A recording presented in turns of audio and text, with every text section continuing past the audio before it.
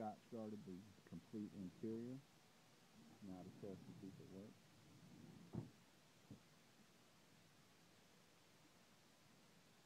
Voila. Water just runs off, and so would any other